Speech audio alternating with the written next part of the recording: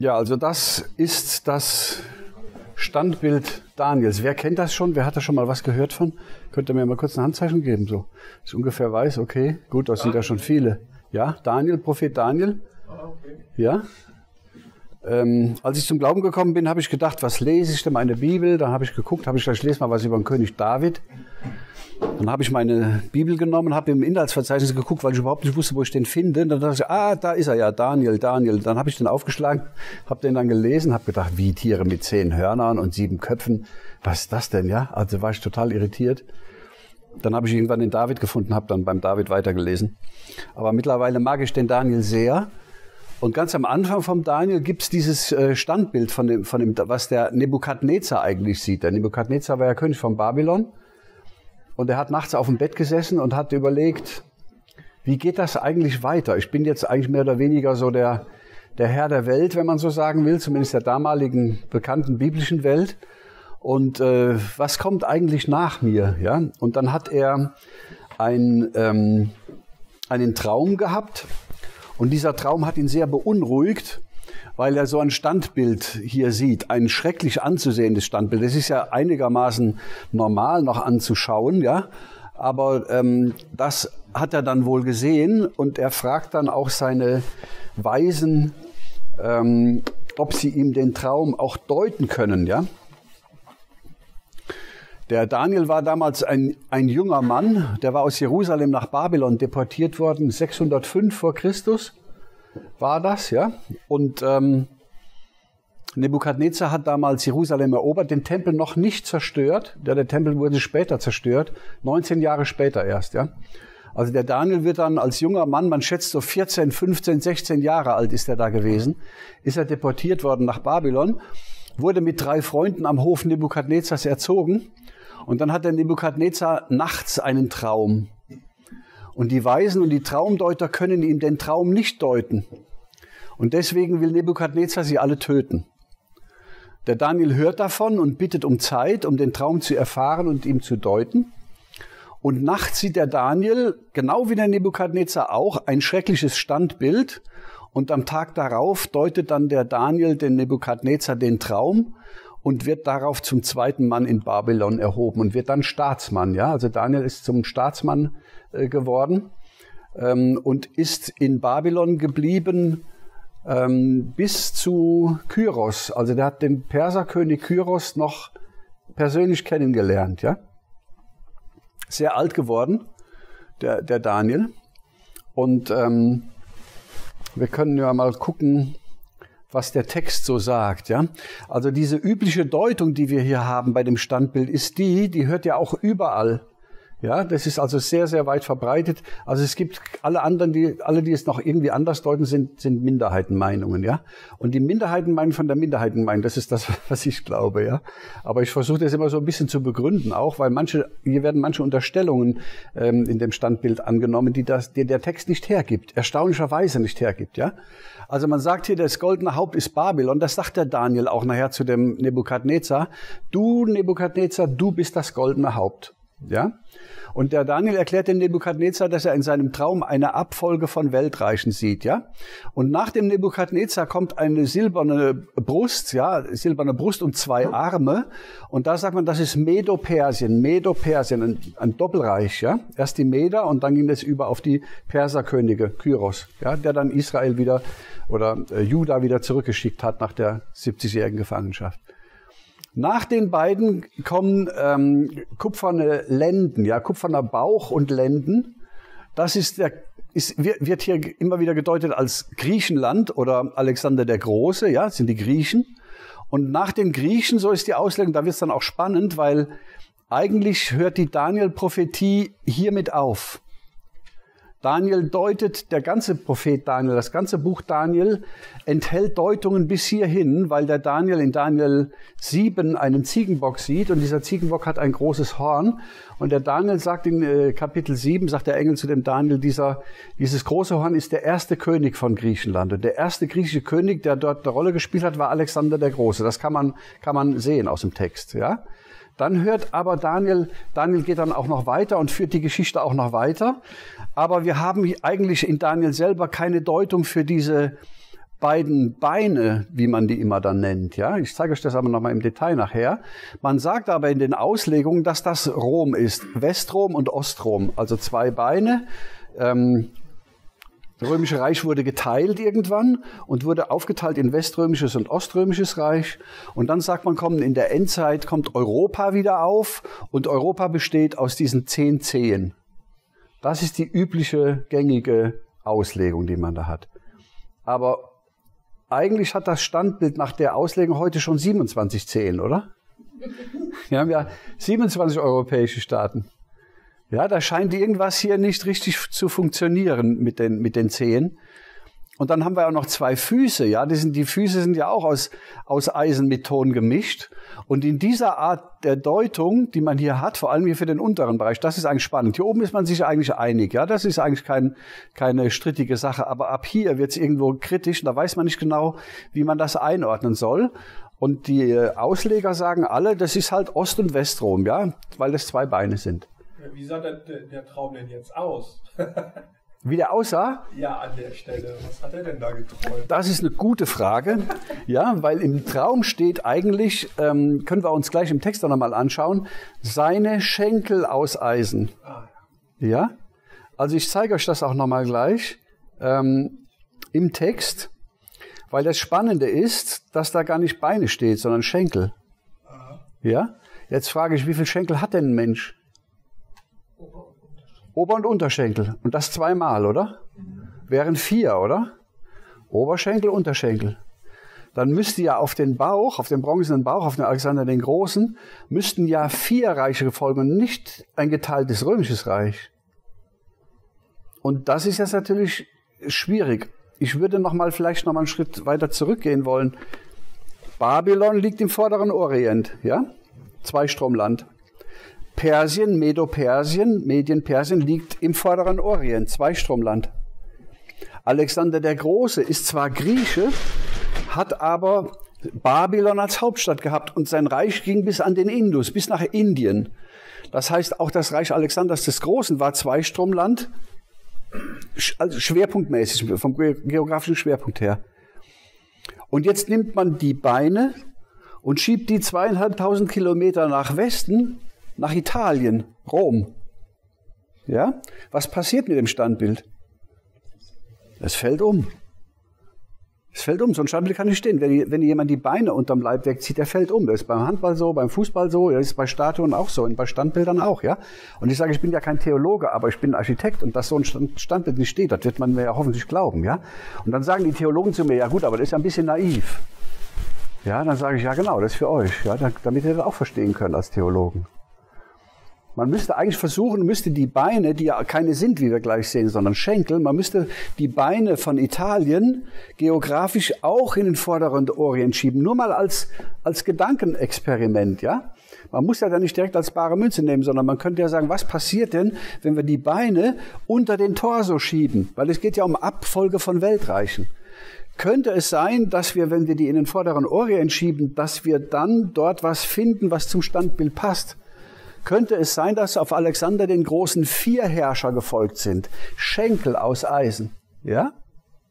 Und das findet man, weil das Reich Alexanders des Großen, das ist aufgeteilt worden und das ist aufgeteilt worden auf seine vier Generäle. Ja, Kassander, Lysimachos, das war so Türkei, Mazedonien, äh, Seleukus, das war Syrien, Großreich Syrien und Ptolemaios, der Ägypter. Vier Generäle, vier Schenkel, und die folgen auf Alexander den Großen. Das wäre historisch belastbar. Ja? Dass auf Alexander den Großen, dass da direkt das römische Reich drauf gefolgt ist, ist auch historisch falsch. Auf Alexander den Großen, 333 vor Christus, ja, sind die Diadochenkönige gefolgt, die, die Zwischenkönige. Und erst dann kommt das römische Reich. Ja? Das heißt, auf Alexander den Großen kommen seine vier Diadochen und erst dann tritt das römische Reich auf. Das heißt, man könnte also, wenn man diese sogenannten Beine, die ja eigentlich Schenkel sind, wenn man die von Italien wieder in vorderen Orient verschiebt, dann hätte man plötzlich, dann würde das Standbild stehen. Man hat dann aber ein anderes Ergebnis für diese Schenkel. Die sind dann nämlich nicht Rom, nicht das römische Weltreich, sondern die sind dann die Seleukidenkönige. Aber die werden ja in Daniel später auch alle aufgezählt. Kommen wir aber gleich nochmal zu. Ja? Das ist eine ketzerische Auslegung, weil nämlich jetzt diese ganze Auslegung, die man sonst in der evangelikalen Welt findet, die das alles aufs römische Reich deutet, plötzlich nicht mehr passt. Ja? Schauen wir uns aber mal an. Also im Text steht, im zweiten Jahr seiner Herrschaft hatte Nebukadnezar einen Traum, Traum, über den er so erschrak, dass er aufwachte. Und der König ließ alle Zeichendeuter und Weisen und Zauberer und Wahrsager zusammenrufen, dass sie ihm seinen Traum sagen sollten. Und sie kamen und traten vor den König. Und der König sprach zu ihnen, ich habe einen Traum gehabt, der hat mich erschreckt, und ich wollte gerne wissen, was es mit dem Traum gewesen ist. Da sprachen die Wahrsager zum König auf Aramäisch, also das ist jetzt Syrisch, ja, ähm, oder ich sag mal, ähm, Aramäisch wurde damals in Syrien und Assyrien, also bis ins Zweistromland gesprochen, ja. Der König lebe ewig, sage deinen Knechten den Traum, so wollen wir ihn deuten. Der König antwortete und sprach zu den Wahrsagern, mein Wort ist deutlich genug. Werdet ihr mir nun den Traum nicht kundtun und deuten, so sollt ihr in Stücke gehauen und eure Häuser sollen zu Schutthaufen gemacht werden. Das heißt, die wollen, wollen, vom König wissen, was der geträumt hat. Sage, sag uns das. Und der Nebukadnezar ist aber schlau. Der sagt, ich sage euch das nicht, weil ich möchte gern wissen, ob ihr wirklich Wahrsager seid.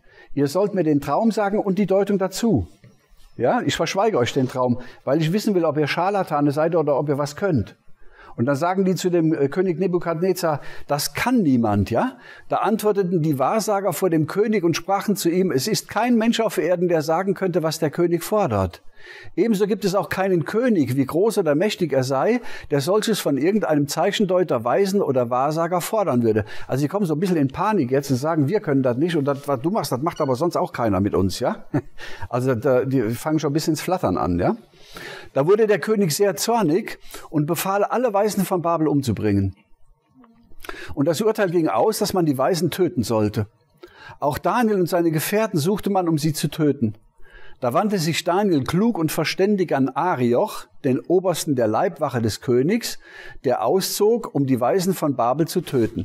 Jetzt kommt der Daniel und wendet sich an den und sagt zu ihm, gib uns ein bisschen Zeit, ja, und lass uns verstehen, ähm, lass uns Gott fragen, ja. Da ging Daniel hinein mit dem Arioch und bat den König, ihm eine Frist zu geben, damit er die Deutung dem König sagen könne. Dann gibt der Nebukadnezar ihm die, dem Daniel die, und dann steht im Vers 19, da wurde Daniel dieses Geheimnis durch ein Gesicht in der Nacht offenbart. Und Daniel lobte den Gott des Himmels. Das heißt, Daniel sieht in der Nacht in einem Gesicht dasselbe Standbild, was auch Nebukadnezar gesehen hat. Mit 16, Teenager. Er war noch jung, ja? Da ging Daniel hinein zu Arioch, der vom König Befehl hatte, die Weisen von Babel umzubringen, und sprach zu ihm, du sollst die Weisen von Babel nicht umbringen, sondern führe mich hinein zum König, ich will dem König die Deutung sagen. Arioch brachte Daniel eilends hinein vor den König und sprach zu ihm, ich habe einen Mann gefunden. Hat mal ein Prediger gesagt, da schmückt sich auch einer mit fremden Federn. Guck mal, König, ich habe einen gefunden, ich ich will auch ein bisschen was abhaben von den Meriten, ja? Merkt er das, was da passiert, ja? Der ist ein Wichtigtour, ja? Der hat ihn gar nicht gefunden. Der Daniel ist auf ihn zugekommen, ja? Ich habe einen Mann gefunden unter den Gefangenen aus Juda, der dem König die Deutung sagen kann. Also er kommt hier, ja, das ist ein Israeli, das ist ein Jude. Der König antwortete und sprach zu Daniel, den sie Belshazzar nannten, bist du es, der mit dem Traum, den ich gesehen habe und seine Deutung kundtun kann? Du kleiner Wicht? Du bist ja kaum mal 18. Du bist ja kaum volljährig. Bist, bist du? Ja, also der ist ganz erstaunt darüber. Daniel fing an vor dem König und sprach, das Geheimnis, nach dem der König fragt, vermögen die Weisen, Gelehrten, Zeichendeuter und Wahrsager dem König nicht zu sagen. Aber es ist ein Gott im Himmel und der kann Geheimnisse offenbaren. Der hat dem König Nebukadnezar kundgetan, was in künftigen Zeiten geschehen soll. Mit deinem Traum und deinen Gesichten, als du schliefst, verhielt es sich so.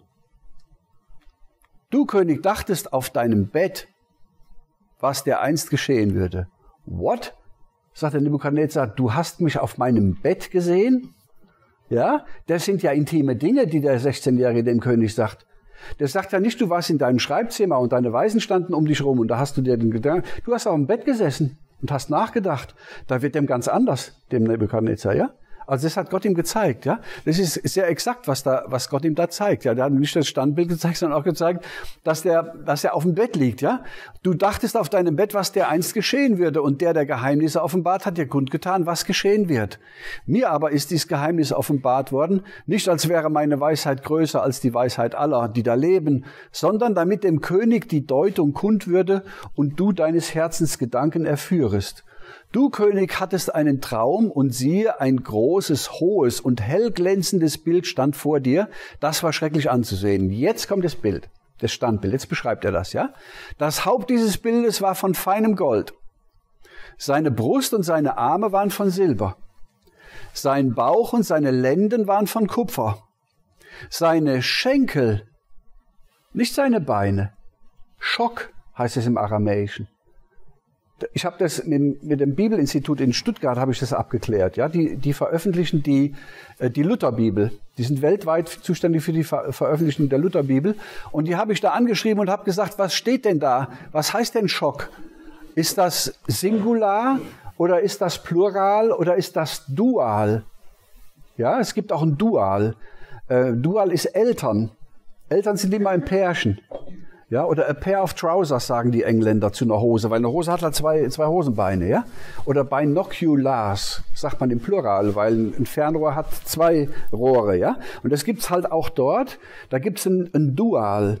Und es gibt ein Plural, Mehrzahl, und es gibt ein Singular, Einzahl. Und die haben gesagt, es ist ineinander aufgegangen, die haben gesagt, das heißt nicht Beine, das heißt, das heißt Schenkel. Das ist nicht für Beine. Und wer von euch eine Schlachterbibel hat, 2000er Schlachter, die übersetzen hier Oberschenkel. Aber das steht da auch nicht. Da steht nicht Hyposchock oder so. Ne, da steht nur Schenkel. Mehr steht da nicht.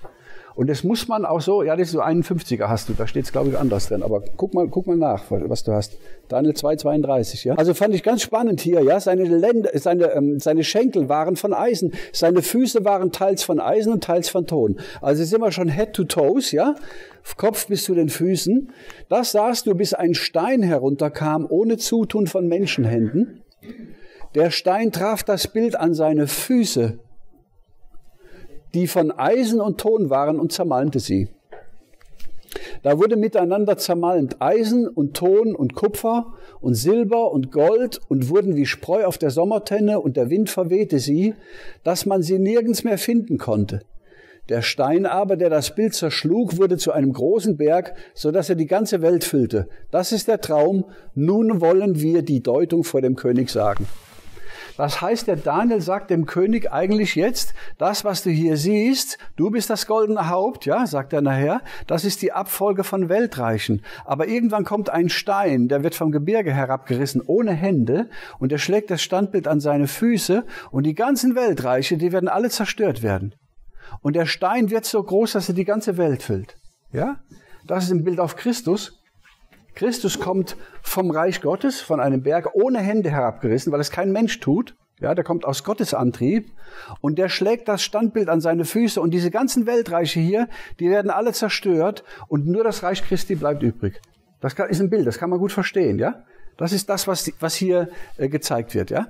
Und das ist das, was der Daniel gesehen hat. Und jetzt deutet er dem Nebukadnezar den Traum und sagt, du König bist ein König aller Könige, dem der Gott des Himmels Königreich Macht, Stärke und Ehre gegeben hat und dem er alle Länder, in denen Leute wohnen, dazu die Tiere auf dem Feld und die Vögel unter dem Himmel, in die Hände gegeben und dem er über alles Gewalt verliehen hat. Du bist das goldene Haupt. Aha, da geht es um Weltreich, da geht es um Politik. Das ist politisch hier. Hier sitzen zwei Staatsmänner zusammen. Ja? Hier sitzt der Beherrscher der Welt zusammen mit dem zweiten Mann in der Politik in Babylon. Ja? Das sind zwei Alpha-Tiere und wir dürfen Mäuschen spielen und dazuhören, was die beiden miteinander da verhandeln. Das ist politisch, das Buch Daniel. Das sind die Weltreiche, die, die kommen. Und, das, und dieses Standbild hier findet man in Daniel 2. Und das ist wie ein grober Setzkasten, was grob den Ablauf der Weltgeschichte skizziert. Und alle Folgekapitel von Daniel, die Prophetien, die dort kommen, das wird immer weiter verfeinert. Die müssen alle ins Standbild reinpassen, wieder nach vorne, ja? Als ob Gott erstmal einen, einen groben Überblick gibt und dann die Fächer alle Stück für Stück füllt, bis ein komplettes Detailbild entsteht. Das ist sehr klug, was Gott da macht, ja? Das ist ein grober erster Abriss, ja? Und der Fehler, den man gemacht hat, ist, dass man die Beine hier genommen hat und hat die hier nach Italien geschoben. Und das macht man in der ganzen Daniel-Auslegung auch. Man deutet diese ganzen Bilder, die Daniel hier hat, alle auf Rom, alle aufs Römische Reich. Ja, warum macht man das denn? Weil man sich verleiten lässt, auf das zu achten, was vor Augen ist. Ja? Man achtet nicht auf das Wort Gottes, sondern man achtet auf die gegenwärtige Politik, die man sieht. Und das große römische Reich, was unser Europa geprägt hat, mit Gesetzgebung, ja, mit, ähm, äh, mit Architektur, ähm, mit Infrastruktur, mit, mit römischem Gedankengut, das hat man vor Augen gehabt. Und der natürliche Mensch achtet auf das, was er sieht, und das trägt er in die Bibel rein. Und er interpretiert die Bibel so, wie er mit diesen Augen sieht. Und das ist schon im Paradies schiefgegangen. Ja? Der, die Eva kommt ja und ähm, guckt sich den Baum an und sieht, dass vom Baum gut zu essen ist, und dann nimmt sie von der Frucht und isst, obwohl sie ein Wort Gottes empfangen hatte von Adam. Denn Gott hat gesagt, ihr sollt nicht essen von dem Baum. Ja? Der Adam kommt, setzt sich an den Tisch, Eva sagt, kommst du denn her? Sagt Eva, sagt Adam, ich komme von Gott. Ja, und was hat er gesagt? Er hat gesagt, wir sollen nicht essen von dem Baum. Was? Da gucke ich mir mal an. Dann läuft sie los zum Baum, sieht den Baum, sagt, wieso, super Baum. Ja? Toll zu essen, sind doch schöne Früchte, nehme ich von. Das heißt, sie achtet auf das, sie macht sich ihre eigene Meinung. Versteht ihr das Bild, ja? Sie macht sich ihre eigene Meinung über diesen Baum und sie vergisst, was Gott gesagt hat und urteilt und danach ist der ganze Sündenfall und das ganze Drama über die Welt gekommen. Und das passiert heute oft auch in Gemeinden, dass die Pastoren das predigen, was sie fühlen, was sie so empfinden als Mensch was sie so meinen weiterzugeben, was sie meinen zu sehen in der Politik. Und das tragen sie in die Bibel rein. Und es ist immer schiefgegangen. Ja? Der Reiter auf dem weißen Pferd. Das war doch der Corona-Reiter. Der hatte doch eine Krone auf. Wisst ihr das noch? Die Sau hat man durchs Dorf getrieben während Corona. Ja, das steht in der Offenbarung schon mit Corona. Nee, das steht überhaupt, das haben wir jetzt mittlerweile auch wieder alle vergessen, weil Corona ist ja vorbei. Ja, das kommt, nächsten Monat kommt was Neues. Ah, das steht ja hier in der Bibel. Das darf man nicht tun. Man muss die Bibel mit Bibel auslegen. Aber der natürliche Mensch schaut auf das, was vor Augen ist, was in seinem Bauch ist, was in seiner Seele ist und interpretiert das in die Schrift rein. Ja? Und der natürliche Mensch, der da zuhört, sagt, ja, das hat mir was zu sagen gehabt. Dieses Buch werde ich kaufen von dem Mann. Und ein Freund von mir in Rumänien sagt, also alle prophetischen Bücher, nach 30 Jahren muss man die wegwerfen und neue schreiben. Genau, sage ich, ja. Weil man sich immer auf die jeweilige Zeit berufen hat. Und das hat man mit dem Römischen Reich auch gemacht. Man hat das große Römische Reich gesehen und hat einfach gesagt, auf Alexander den Großen, da ist Rom gefolgt. Und jetzt sind hier zwei Beine. Das sind aber doch Schenkel. Nee, das sind zwei Beine. Sagen auch die Ausleger. Ich kann, will im Detail nicht drauf eingehen. Ähm, okay, also er, er gibt ja also hier schon mal zu, du Nebukadnezar bist das goldene Haupt. Also wir haben eine Deutung von Babylon. Das ist wichtig für uns, ja, für die Auslegung. Das, ist, das fängt mit dem babylonischen Weltreich an. Nicht mit Ägypten, nicht mit Assyrien. Babylon ist der Anfang hier, ja? Nach dir wird ein anderes Königreich aufkommen, geringer denn deines, ja? Metall, ja? Danach das, das ist praktisch hier Medo-Persien. Danach das dritte Königreich, das aus Kupfer ist ja, und über alle Länder herrschen wird. Hier wird noch nicht beschrieben, wer das dritte Königreich und das zweite Königreich ist. Das kommt jetzt in Kapitel 7 und Kapitel 8. Da wird gesprochen von Darius. Da wird gesprochen von dem griechischen König, ja, von dem Horn und so weiter. Hier ist das noch nicht so im Detail aufgeschlüsselt, wie das in den späteren Kapiteln ist. Eins wird uns schon mal gezeigt, dass das goldene Haupt Babylon ist, ja, Nebukadnezar. Nach dir wird ein anderes Königreich aufkommen, geringer als deines, danach das dritte Königreich, das aus Kupfer ist und über alle Länder herrschen wird. Alexander, ja? Und das vierte wird hart sein wie Eisen, denn wie Eisen alles zermalmt und zerschlägt, ja, wie Eisen alles zerbricht, so wird es auch alles zermalmen und zerbrechen.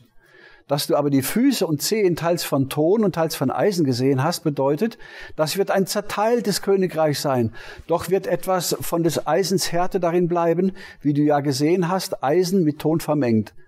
Und dass die Zehen an seinen Füßen teils von Eisen und teils von Ton sind, bedeutet, zum Teil wird es ein starkes und zum Teil ein schwaches Reich sein. Das hat man auf das römische Europa gedeutet. Man hat gesagt, Europa hat so viel Völkerwanderung, das ist so vermischt miteinander, ja. Und das ist zum Teil militärisch stark, aber es ist moralisch schwach, ja, oder sozial schwach, äh, bei gleichzeitiger militärischer Stärke. Man hat das alles hin und her interpretiert dann, ja. Aber ich glaube, hier ist von Rom überhaupt nicht die Rede. Im ganzen Buch wird da Rom nicht ein einziges Mal erwähnt, weil Rom in einem ganz anderen Erdteil liegt. Und das ist natürlich fatal für alle Ausleger. Ich kenne auch viele persönlich, ja, die es über Jahre hinweg dann auch, auch ausgelegt haben. Wenn man die damit konfrontiert, dann ducken die sich weg. Die wissen aber, dass das stimmt. Ist ja nicht so schwer. Man kann das ja googeln, dann findet man das nirgendwo rum im, im Daniel erwähnt ist. Und die können sich das nicht vorstellen, dass sie da falsch liegen, ja. Sind ein bisschen wie die Eva. Ja, die achten auf das Sichtbare. Das finde ich fatal, ja. Aber dass du und dass du gesehen hast, Eisen mit Ton vermengt, bedeutet, sie werden sich zwar durch Heiraten miteinander vermischen, aber sie werden doch nicht aneinander festhalten, so wie sich Eisen mit Ton nicht mengen lässt. Aber zur Zeit dieser Könige, wenn diese Könige herrschen, scheinbar ist das eine Abfolge von Königen, ja, von Königreichen, zur Zeit dieser Könige wird der Gott des Himmels ein Reich aufrichten, das nimmermehr zerstört wird, weil der Fels ja vom, vom Gebirge kommt und das alles zerschlägt, ja? Christus kommt, richtet sein Reich auf. Er wird alle diese Königreiche zermalmen und zerstören, aber er, es selbst wird ewig bleiben. Wie du ja gesehen hast, dass ein Stein ohne Zutun von Menschenhänden vom Berg herunterkam, der Eisen, Kupfer, Ton, Silber und Gold zermalmte. So hat der große König dem so hat der große Gott dem König kundgetan, was der einst geschehen wird. Der Traum ist zuverlässig und die Deutung ist richtig. Punkt. Das ist Selbstvertrauen, oder? Ja? Der Traum ist zuverlässig, die Deutung ist richtig. Jetzt bist du dran. Hammer, ja? Der war also der bold, sagen die Amerikaner, ja? Der kam da mit breiten Schultern, ja? Ähm, in der Bescheidenheit und hat den König ja auch geehrt, aber was so ist, ist so, ja? Ähm, da fiel der König Nebukadnezar auf sein Angesicht und warf sich nieder vor Daniel. Also die Weisen haben eben noch gefürchtet sich vor ihm, ja, weil der hatte ja Macht, die alle umzubringen. Jetzt wirft sich der Nebukadnezar vor ihm nieder, ja, und befahl, man sollte ihm Speisopfer und Räucheropfer darbringen. Und der König antwortete Daniel und sprach, es ist kein Zweifel, euer Gott ist ein Gott, der über alle Götter und ein Herr, der über alle Könige ist, der Geheimnisse offenbaren kann, wie du dies Geheimnis hast offenbaren können. Und der König erhöhte Daniel und gab ihm große und viele Geschenke und machte ihn zum Fürsten über das ganze Land Babel und setzte ihn zum Obersten über alle Weisen in Babel. Und Daniel bat den König über über die einzelnen Bezirke im Lande Babel Schadrach, Meshach und Abednego zu setzen. Das sind seine drei Freunde. Und Daniel aber blieb am Hof des Königs. Das ist der Text. Also wir haben jetzt schon mal gesehen, es geht gar nicht um Beine, es geht um Schenkel. Es gibt vier Schenkel. Wenn wir das Experiment machen und nehmen die Beine, schieben die von Italien in den vorderen Orient, dann finden wir dort vier Königreiche, die auf Alexander gefolgt sind. Die schauen wir uns jetzt mal an, damit wir das nicht so in der Luft hängen lässt. Ja? Jetzt gucken wir uns mal kurz die Historie dazu an. Ja? Babylon war von 612 bis 539. Dann kommt Medo-Persien, 539 bis 333, 333 bei Issos Keilerei. Ja? Alexander der Große wird König von 333 bis 323. Zehn Jahre nur König gewesen, sehr jung gestorben. Ja, die ganze Welt erobert. Alexander der Große ist für jeden Machtpolitiker das, das ähm, Beispiel par excellence. Ja, das war der größte Feldherr aller Zeiten, weil Gott es so wollte. Ja, und er hat ein riesiges Weltreich zusammengeräubert. Und dann fängt das römische Weltreich an, aber erst ab 168 vor Christus. Und das hat gedauert bis 395 und dann wurde, war erst Reichsteilung. Da wurde ja Rom erst zu zwei Reichen, was auch nicht stimmt. Rom hat nur zwei Regierungssitze gehabt, Rom und Konstantinopel, weil das Reich so groß war, aber es war damals noch nicht geteilt. Ja, es war noch ein römisches Reich. Und die Ausleger heute sagen, ja gut, die Urgemeinde hat es auch immer so ausgelegt. Jetzt sage ich, die Urgemeinde hat ja vor, vor der Zeit hier gelebt, die wussten überhaupt nicht, dass Rom geteilt würde. Ja? Die haben Rom, oder steht der Stammbild auf einem Bein vielleicht. Ja? Das ist ja nur ein römisches Reich. Das passt alles nicht. Und das passt auch historisch nicht, weil wir hier sehen, dass hier eine Zeit zwischen ist. 323 bis 168. Was war denn dazwischen? Da muss doch noch jemand zwischen gewesen sein, ja? Und man kann das sehen, zwischen diesem Reich der Römer, also wir sind jetzt hier im Jahr 200, ja, also wir seht ihr, wir sind in der Zwischenperiode 323. Jetzt gehen wir mal 120 Jahre weiter, dann sind wir hier beim Jahr 200. Und im Jahr 200 vor Christus, da sah das hier so aus, die Diadochenreiche vor Beginn der Kämpfe mit Rom. Das ist das, das, das Reich im Nahen Osten im Jahr 200 vor Christus. Das sind die Seleukiden, das sind die Ptolemäer, Das sind hier ähm, Kassander und das Reich vom, vom Lysimachos. Die sind verschieden eingefärbt. Die haben sich hin und her gekloppt. Das waren mal fünf, dann waren es mal sieben, dann waren es mal sechs. Zum Schluss haben sich dann vier von, davon durchgesetzt und haben dann dieses Reich praktisch dann aufgeteilt. Das war ein harter Kampf, in dem die da gestanden sind. Und man kann dann praktisch sagen, dass zwischen diesen, dieser Phase die Diadochen gewesen sind. Und dann passt das. Aber das würde ja heißen, dass auf Alexander den Großen nicht das Römische Reich folgt, sondern auf Alexander den Großen folgen die Diadochen. Und zwar vier Stück, weil wir Schenkel haben.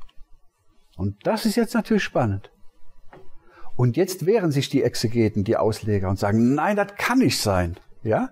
Ich habe einen Freund, der ist Bibellehrer an der Bibelschule und ich habe den angeschrieben, habe ihm das geschickt vor vielen Jahren schon und sage, sei doch so gut und schieß da mal gegen. Ja? Ich habe da kein embryonales Verhältnis zu. Wenn das falsch ist, dann ändere ich das.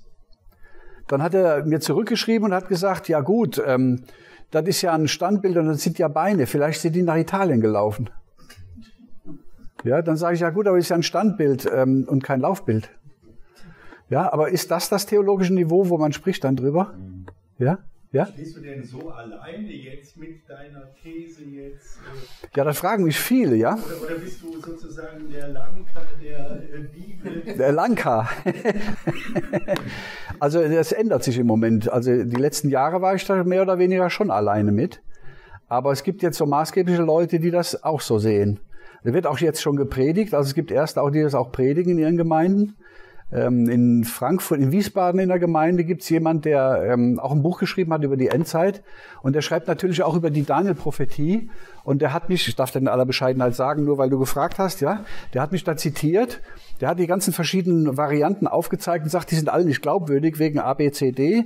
Aber hier der Klein, der hat ein Modell und das funktioniert, ja. Ein Herr Ort, Pastor Ort. Habe ich direkt angemeldet, sage ich, freue ich mich, dass Sie mich zitiert haben. Ja, sagt er, gut, was stimmt, stimmt. Ja, sag ich, haben Sie auch recht, ja. Also das fängt an und nimmt langsam so Raum und nimmt, greift langsam äh, um sich. Ähm, sehr zum Leidwesen der bisherigen Theologen, weil die ja alle irgendwie falsch liegen. Und die Diskussion in den Gemeinden, die fängt jetzt auch an. Ne? Also ich bin so ein bisschen Unruhestifter dann dabei, ja. Das hieß ja auch, dass Rom dann die Füße sein müssten.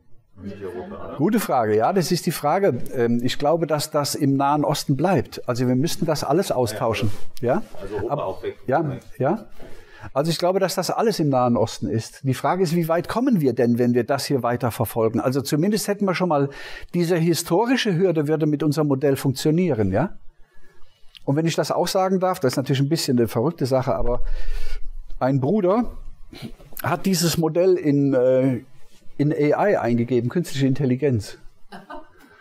Und hat die künstliche Intelligenz gefragt und der hat so einen Zugang. Also der sagt, das ist nicht, nicht das, was ihr als, als Endkunden bekommt. Der ist EDV-Mann und der kann dann eine, hat dann eine bessere Version.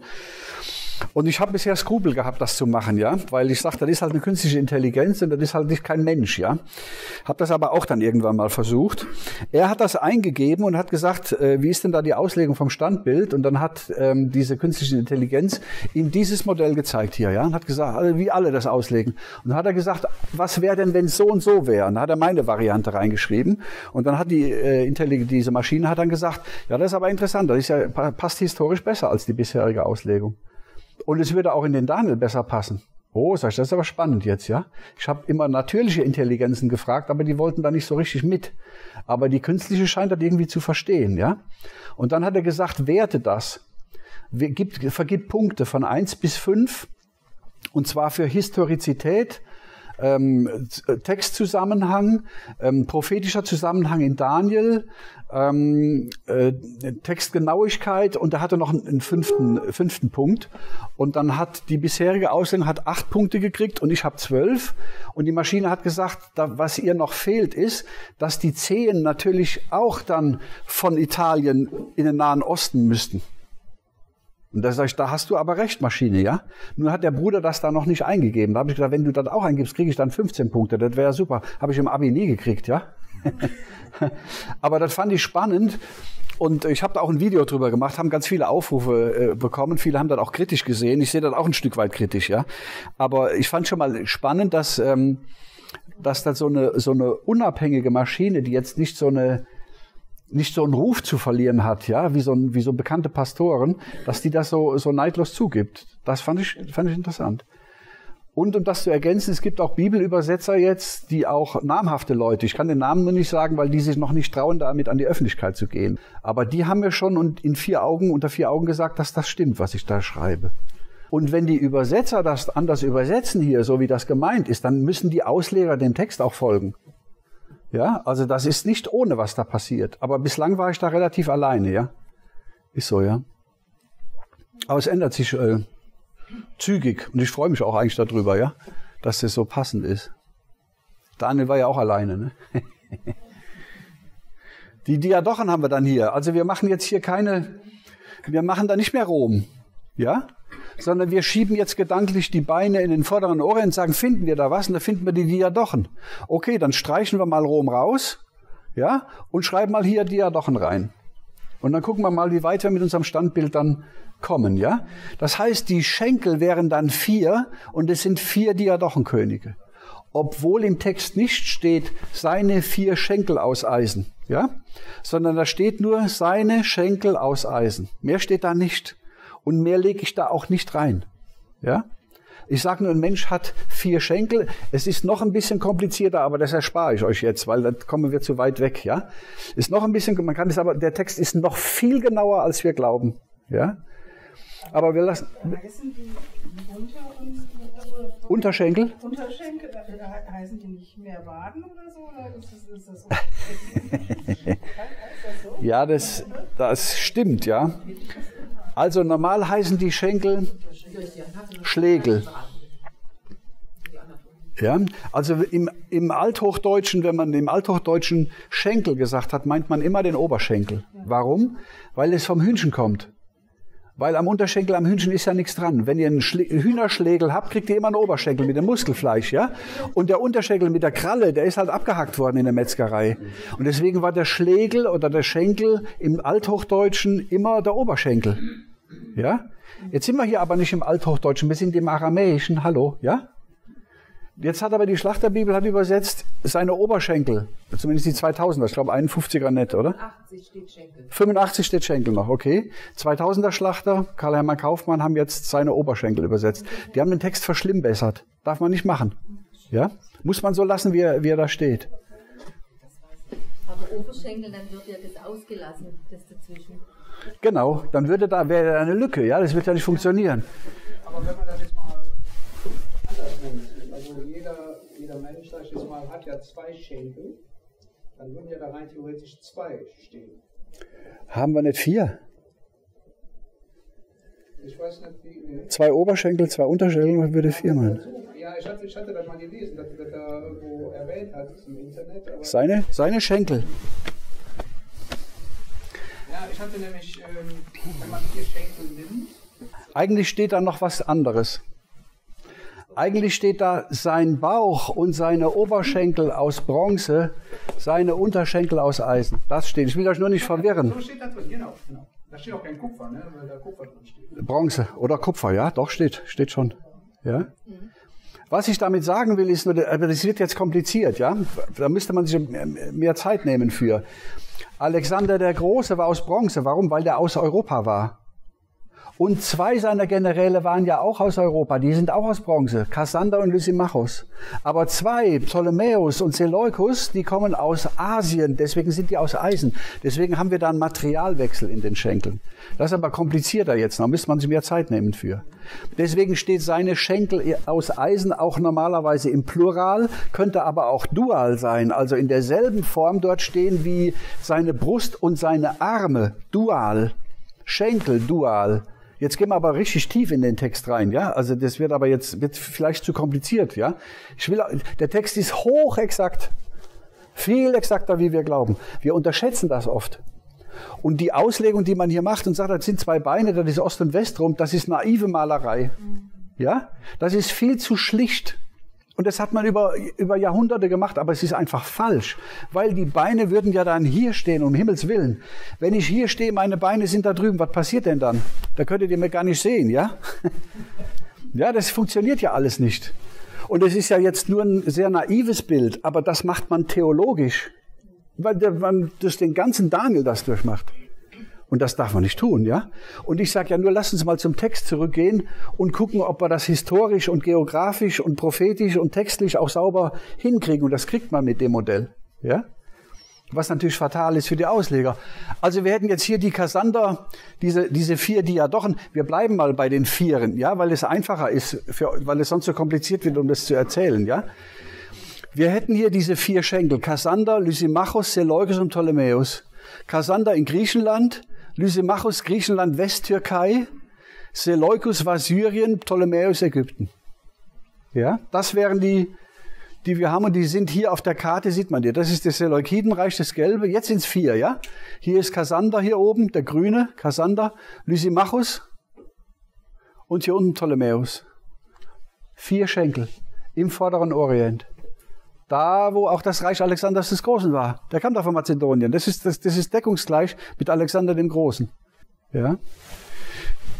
Ich will damit nur zeigen, wir haben jetzt praktisch, hier, Italien ist ja hier irgendwo, ja. Wir haben die zwei Beine in den vorderen Orient verschoben und sehen, die sind, das ist das Reich Alexanders des Großen und gar nichts anderes. Und das ist aufgeteilt worden in vier Schenkel. Bauch, Schenkel. Ja? Und wir haben zwei, um, wenn man im Bild bleiben will, zwei liegen in Europa und zwei liegen hier in Asien, Vorderasien. Ja? Das heißt also, von den vier Diadochen, da waren die beiden, die waren eigentlich die wichtigen. Seleukos, Syrien und Ptolemäus Ägypten. Die waren besonders wichtig, weil die beiden nämlich die beiden mächtigsten waren.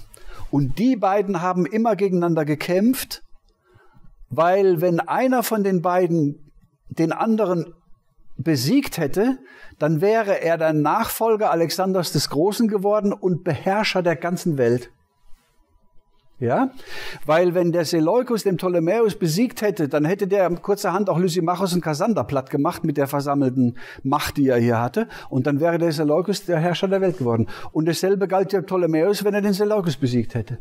Und die haben immerhin dann gegeneinander gekämpft, von, von 323 vor Christus immer gegeneinander. Und die haben sich so lange in Schach gehalten, dass Rom hier in der Zeit die Möglichkeit hatte, immer größer und immer stärker zu werden, sich immer weiter auszudehnen und dann irgendwann hier in den Konflikt eingegriffen hat und dann irgendwann alles erobert hat und dann kam das Römische Reich. So ist es abgelaufen. Ja? Das heißt also, die beiden haben immer gegeneinander gekämpft und sich in Schach gehalten. Das wird in Daniel 11 in aller Detailtreue beschrieben. Daniel 11 beschreibt diese, den Kampf dieser dieser äh, Dynastien gegeneinander. Mal haben sie gekämpft, mal haben sie sich versucht zu verheiraten miteinander, ja, um die Töchter dann und die Söhne miteinander zu verheiraten, die sind aber wieder umgebracht worden. Also es ging immer hin und her, aber man hat versucht, die beiden irgendwie das alte Alexanderreich wieder aufzurichten, entweder mit Gewalt oder mit Hochzeit, obwohl es vielleicht ähnlich ist, was ähnlich. aber man hat das nicht geschafft. Man hat aber dafür dann, äh, oder man hat damit dann in Kauf genommen, dass, dass Rom so groß und so stark wurde, dass das Römische Reich dann irgendwann hier eingefallen ist. Und das Frappierende ist, dass im Daniel die römischen Feldherren, die später dann zu Senatoren wurden, die werden im Buch Daniel erwähnt. Der eine ist Scipio Asiaticus und der andere ist Laenas. Man kann die im Text identifizieren. Ja, die werden zwar nicht mit Namen genannt, aber man, man, die werden erwähnt im Text, dass die kommen und den Antiochus den Dritten besiegen in einem bestimmten Krieg. Und später wird auch gezeigt, dass da Laenas, der kommt dann von Rom hier runter und schickt einen der Seleukidenkönige wieder nach Hause. Es ist also so, dass das römische Reich nicht nur nicht erwähnt wird in Daniel, es ist noch viel schlimmer. Es ist so, dass Gott sogar sagt, ich kenne sogar einzelne Senatoren und einzelne Feldherren aus dem römischen Reich, aber ich meine Rom nicht. Deswegen habe ich Rom nie erwähnt. So schlimm ist es. Kann man das verstehen, ja? Es ist nicht so, dass das ein Lapsus wäre oder dass das ein, ein, exegetischer Fehler wäre oder eine Unschärfe oder dass man sagt, na ja gut, das kann man da so rein interpretieren. Nein, nein, nein. Das Römische Reich kommt da nirgends drin vor, aber es kommen einzelne Senatoren vor. Die Laenas und Scipio Asiaticus sind historische Figuren. Das heißt, die, die Exegeten können nicht sagen, ja gut, das ist eine Interpretationsfrage. Nein, nein, das ist keine Interpretationsfrage. Das hängt am Text. Und ihr seid nicht am Text. Ihr seid nicht in der Historie. Und es ist so peinlich für die. die ich, in der letzten Zeit habe ich kein Video mehr gesehen im Internet, was sich mit dem Standbild beschäftigt. Finde ich komisch. Weil es wäre ja eine tolle Zeit jetzt so. Wir sind ja alle so ein bisschen in Endzeitstimmung, ja. Irgendwie wagt sich da keiner ran. Da finde ich also hochspannend, was da passiert, ja. Ich bleib da ganz einfach am Text und ich sag, da steht halt nur Schenkel, da steht nicht Oberschenkel, da steht nicht Unterschenkel, da steht nicht Schlegel, ja. Im Schwäbischen heißt es Fies, die Fies gehen auch bis an die Hüfte, da hast du überhaupt kein Schenkel mehr, ja. Das ist, ja, und das ist aber alles nicht Schwäbisch, das ist nicht Altdeutsch, das ist Aramäisch, ja. Und wenn ich den Text verstehen will, muss ich ins Aramäische, dann muss ich mir Schock angucken, dann muss ich gucken, ist der im Singular, im Plural, im Dual, dann muss ich da Fachleute fragen. Und dann muss ich das, was ich hier tue, das muss ich mit fachkundigem Fachwissen, muss ich das belegen. Weil die sagen, der Kleine ist ein Spinner, das ist niemand, der ist überhaupt kein Theologe. Der kann das überhaupt nicht wissen, ja? Ich muss das alles beweisen, was ich hier sage. Und ich beweise das am Text. Und das macht die ja so unruhig dabei, ja? Weil das plötzlich das andere, das passt alles nicht mehr. Meine Mutter sagt zu mir, ich höre mir das andere überhaupt nicht mehr an, weil wenn man das einmal gehört hat, dann kann man das nicht mehr vergessen. Dann merkt man, der Kaiser ist nackt. Ja? Der Kaiser ist nackt. Und das ist natürlich ein Riesenproblem für die Theologie, ja? Aber ich sage, hier bewegt sich was. Ich will da nicht prahlen, ja? Aber das ist so spannend, vor allem, dass jetzt Profis anfangen, sich damit auseinanderzusetzen. Ja? Aber Unterschenkel ist ganz normal kommt. Bitte? Unterschenkel. Wenn man googelt, kommt Unterschenkel. Ja, glaube ich. Aber es steht da nicht. Ja, aber also es gibt Unterschenkel. Unterschenkel gibt's. Ich habe zwei. Zeige ich aber nicht. ja, natürlich, ja. Aber es steht nur Schock. Es gibt ein Handwörterbuch äh, des Aramäischen. Das ist von einem Gesenius. Das ist so dick, das ist das Standardbuch, um das Aramäische, Hebräische und Aramäische zu übersetzen. Das ist der Fachmann überhaupt. Der übersetzt Schock und da steht Schenkel. Und wenn ihr jetzt eine Wuppertaler Studienbibel euch kauft, dann schreibt der Kurt Meyer, nee, Gerhard Meyer, irgendwie Landesbischof von Baden-Württemberg oder was war da irgendwie sowas, ja, evangelisch, der hat eine Auslegung zu Daniel gemacht und er sagt, im, im Grundtext steht tatsächlich Beine. Obwohl Gesenius auf Seite 905 in seinem Handbuch für Aramäisch und Hebräisch schreibt Schenkel. Merkt ihr, was da passiert? Der sagt, ich behaupte einfach mal, dass da Beine steht. Warum? Ich brauche die Beine für meine Auslegung Ostrom und Westrom, weil ich will ja hier nach Italien mit meinem Krempel.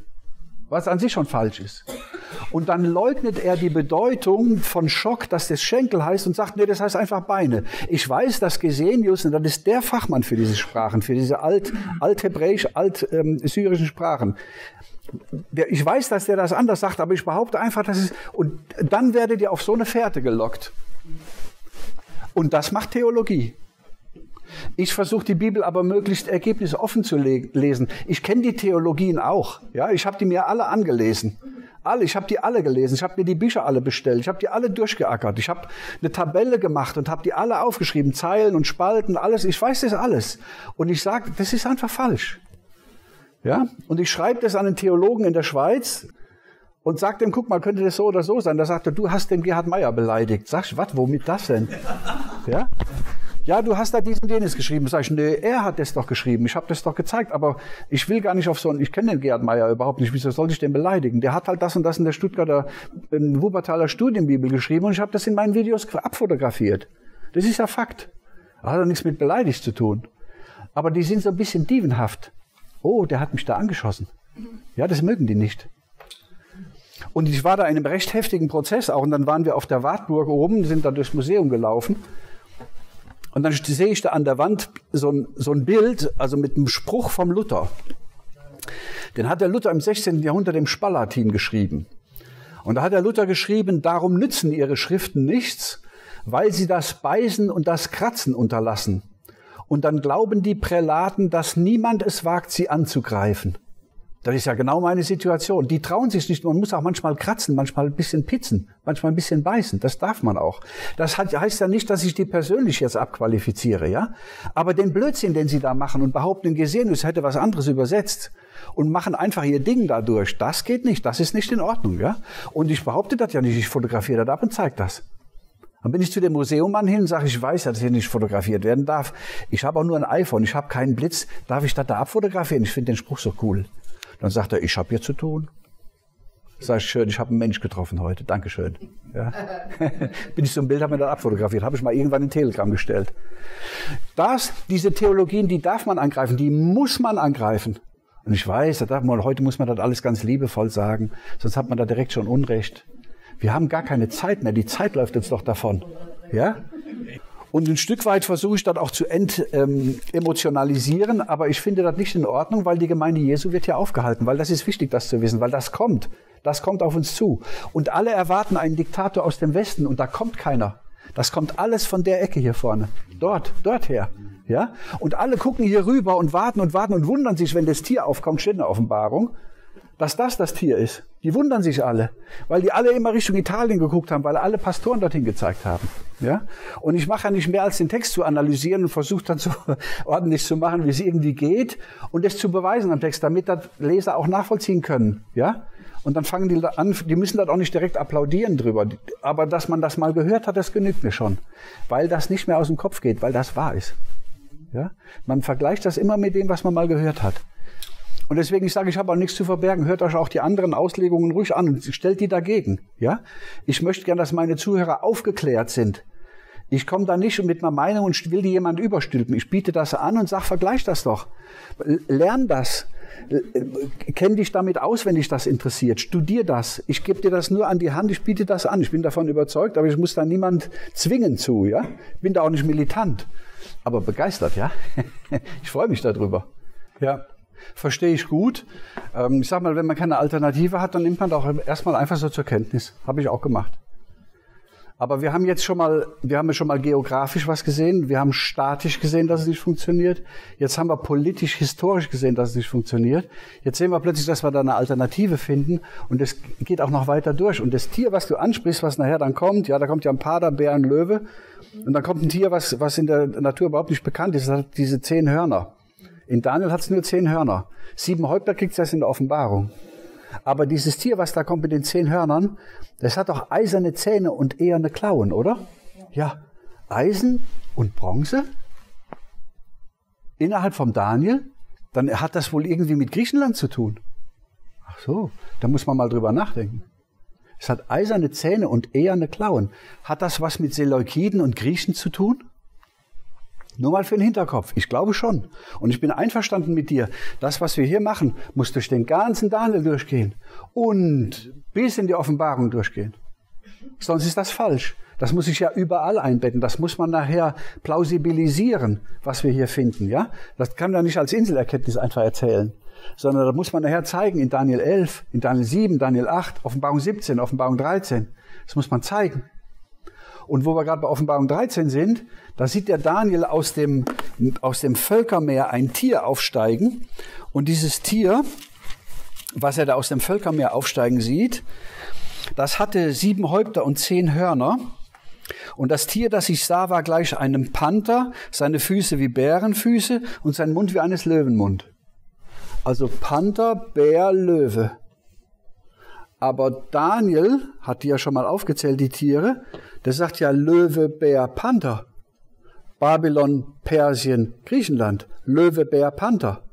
Ja? Babylon, Persien, Griechenland. Der, der Johannes in der Offenbarung, der sagt aber Panther, Bär, Löwe. Ach, ja, aber das ist eine falsche Reihenfolge, Johannes. Ist ja genau umgekehrt wie Daniel. Warum machst du das denn, Johannes?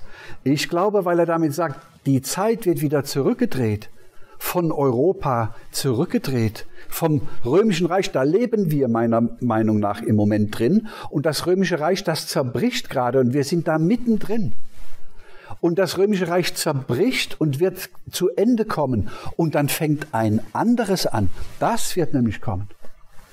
Und der, der Johannes in der Offenbarung, der sagt, Gott dreht die Zeit wieder zurück, bis zurück ins Römische Reich und noch weiter zurück, bis nach Babylon, Medo-Persien, Griechenland. Das wird wiederkommen. Deswegen steht das in, in der Offenbarung rückwärts. Ja? Das sind so ganz spannende Nebendetails, die man da so sieht. Ich will mit euch nochmal so den groben Wurf machen, damit, wenn man da Zeit hätte, dann könnte man das verästeln, ja, aber da verzettelt man sich drin. Ich will euch nur noch kurz zeigen, diese Diadochenkönige, Die sind halt von Alexander dem Großen, sind die gewesen, bis das römische Reich kommt. Und der letzte der Diadochenkönige, das war dieser Antiochus Epiphanes, das ist der hier. Ja? Und das ist der Laenas. Das ist sein Jugendfreund, ja? Als Tag von Eleusis wird, wird in der althistorischen Forschung der frühe Julitag im Jahr 168 vor Christus bezeichnet, an dem Gesandte der römischen Republik den Seleukidenkönig Antiochus IV. ultimativ und letztendlich erfolgreich zum Abzug aus dem ptolemäischen Ägypten aufforderten. Das heißt, der römische Feldherr Laenas, der hat gesagt, ab nach Hause. Was wollte denn der Antiochus dort? Der war doch ein Syrer. Was wollte der denn in Ägypten? Der wollte Ägypten erobern. Warum? Wenn er Ägypten erobert, würde er Beherrscher der Welt werden. Dann gibt's kein römisches Reich. Ja? Dann sind aber die Römer, die haben hier eine Schlacht gehabt, hier im, ähm, im Jahr 169, 170 vor Christus. Die haben die Römer gewonnen. Und dann sind die Römer vom Peloponnes da irgendwo mit Vollgas nach Ägypten runter, haben den Laenas darunter geschickt. Der ist mit dem Motorboot darunter, ja? Und hat dem, hat dem, äh, dem Antiochus gesagt, stopp, wir sind jetzt die Chefs im Ring, heim, nach Hause. Du eroberst hier überhaupt nichts. Und dann ist Rom auf der Weltenbühne aufgetreten. Das war das Jahr 168 vor Christus. Dann kommt das Römische Reich. Bis dahin waren die Seleukiden hier im Vorderen Orient und die Ptolemäer, die sich immer gegenseitig bekriegt haben. Und der hat es nicht geschafft, Ägypten zu erobern. Der hat das nicht geschafft. Hätte der das geschafft, und der war so kurz davor, Hätte der das geschafft, hätte es kein römisches Reich gegeben. Das war auf Messers Schneide damals. Ja? Das ist historisch hochspannend. Und der Laenas und er hier, die waren Jugendfreunde, die kennen sich aus Rom. Ist aber nochmal eine andere Geschichte. Das heißt hier, dieser Tag von Eleusis ist schicksalshaft für den vorderen Orient, weil dieser Antiochus, der Syrer, Ägypten nicht erobern konnte. Und dann muss der nach Hause. Und wo zieht denn der hin? Nach Jerusalem. Und macht dort einen Gräuel der Verwüstung und raubt den Tempelschatz aus, weil er sagt, ich konnte Ägypten nicht erobern, das war teuer, der hat Kredite aufgenommen dafür, um den Krieg zu führen. Und dann konnte der Ägypten nicht erobern, das heißt, er hat jetzt Schulden, der Mann. Und dann haben die Juden den nach Jerusalem reingeholt und der hat dort 168 vor Christus den Gräuel der Verwüstung aufgerichtet. Dieser hier, der hat sieben Jahre lang geherrscht und in der Mitte seiner Herrschaft, in der Mitte der Jahrwoche, geht er in den Tempel in Jerusalem. Erinnert euch das an was? Der kommt wieder. Der kommt wieder. Und der wird Ägypten erobern. Wann denn? Na, vielleicht nächstes Jahr. Ich weiß es nicht genau. Ja? Das wird sich wiederholen hier. Ich will euch nur damit zeigen, dass, dass die Diadochen hier, ja, das ging bis 168 vor Christus. Das ist der Tag von Eleusis. Ja? Alexander der Große, der stirbt 323, dann kommen die vier Diadochen, die herrschen von 323 bis 168. Hier kommt der Tag von Eleusis, jetzt kommt Rom. Die Daniel-Geschichte erzählt aber nur bis zu den Diadochen. Schluss. Die erzählt nichts von Rom. Das kommt viel später. Ja? Also das heißt, dass dieser Tag von Eleusis schicksalhaft war und dass wir hier, dass wir die Diadochen äh, hier einsetzen dürfen für das Römische Reich. Denn was passiert, wenn das Stand, man das Standbild auf Rom deutet? Dann würde man die Beine hier ja zweieinhalbtausend Kilometer nach Europa verschieben und dann fällt das Standbild um. Das kann man nicht machen. Ja? Weil das babylonische Reich liegt im vorderen Orient. Das Medo-Persische Reich liegt im vorderen Orient. Kopf, Brust, ja? Alexander der Große, das Reich Alexanders Großen liegt hier schwerpunktmäßig im Orient. Seine Hauptstadt war Babylon. Aber das Römische Reich, es liegt ja am ganz anderen Kontinent. Das ist ja Europa, das ist ja Japhet. Ja, versteht ihr das? Das heißt, dass, dass wenn man das aufs Römische Reich auslegt, dann liegt das Römische Reich hier und die Diadochenreiche oder das, die Reiche der, die, des Torso hier oben, die liegen im Vorderen Orient. Und wir nehmen den gelben Kreis und schieben den auch in den Vorderen Orient. Und plötzlich passt das. Und das ist natürlich heftig. Ja? Wenn nun die beiden eisernen Beine des Standbilds auf das Römische Reich gedeutet werden, werden in dieser Art der Auslegung die Beine gleichsam zweieinhalbtausend Kilometer nach Westen verschoben. Dann kann, das, kann, dann kann das Standbild nicht stehen, dann fällt das um. Ja, das haben wir schon gehabt. Ja, ja, wir schieben die Beine wieder unter den Torso. Ja, und dann steht auch unser Standbild. Das heißt also, wir haben hier diese, diese vier Schenkel, wenn man so will. Und diese beiden, die waren wichtig. Die haben immer gegeneinander gekämpft, bis das Römische Reich irgendwann kam. Ja, haben wir gesehen, Tag von Eleusis. Und diese beiden äh, Dynastien, die werden in Daniel 11 im Detail beschrieben. So exakt, dass Bibelkritiker sagen, dass Daniel äh, Kapitel 11 nachträglich geschrieben worden ist. Weil Daniel hat ja sein Buch geschrieben 500, 550 vor Christus. Aber die Seleukiden und die Ptolemäer, die gingen ja bis 168 vor Christus. Also 400 Jahre in die Zukunft hat er geguckt.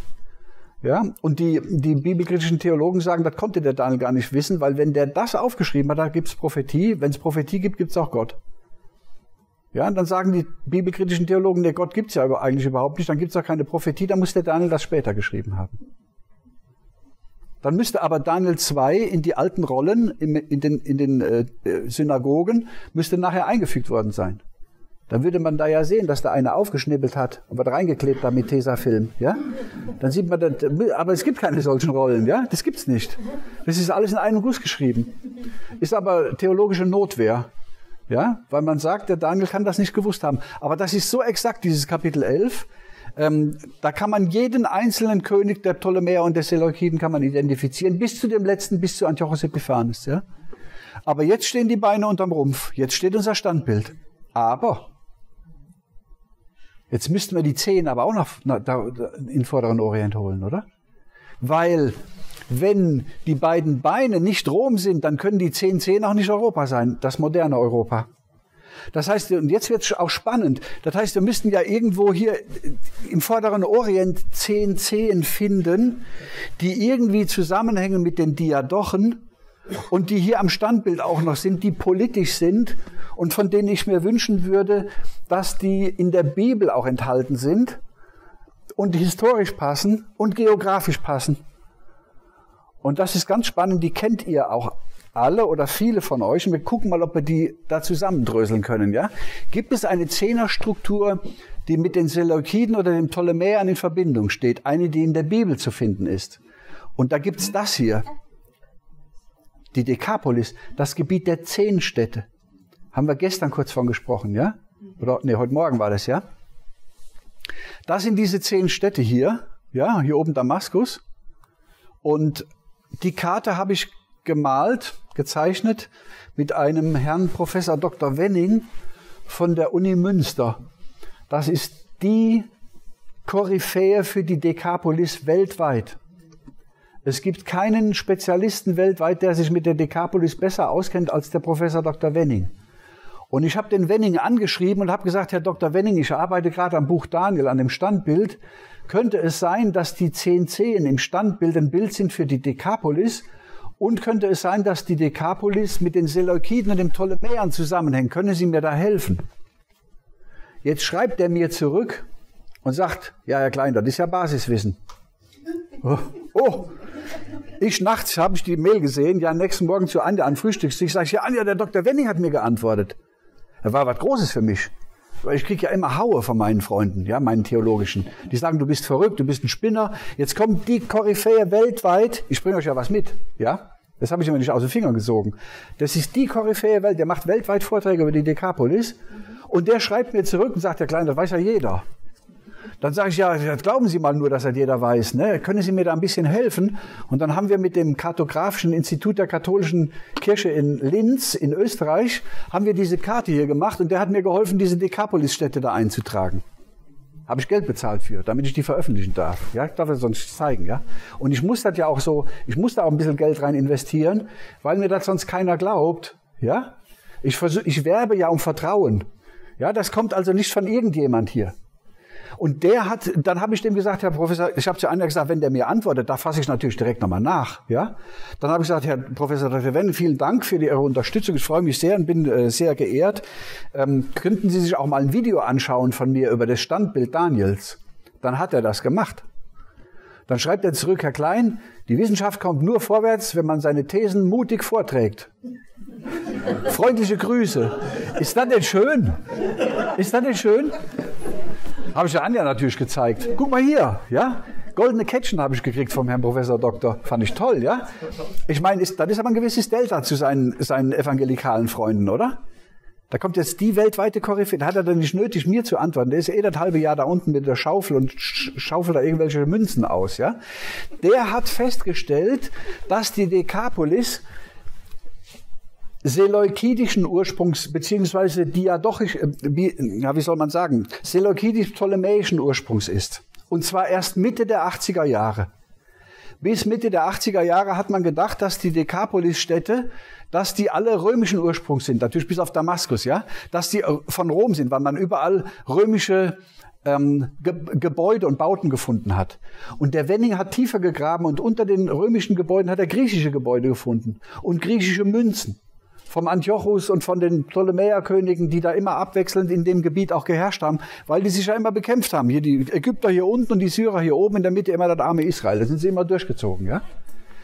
Und der hat überhaupt erst festgestellt in den 80, Mitte 80er Jahre, dass die Dekapolis-Städte zu den Seleukidenkönigen dass die die gegründet haben. Ja, dann hätten wir ja 10, 10. Ja.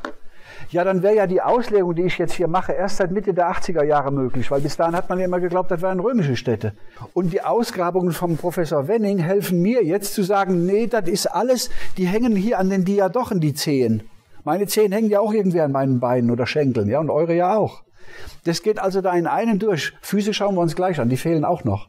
Ja? Ich will euch nur zeigen, das sind die zehn Zehen und die kennen wir alle. Und diese zehn Zehen ändern sich auch nicht. Weil wenn die 10 10 europäische Staaten wären, dann hätten wir ja ein Standbild mit 27 10.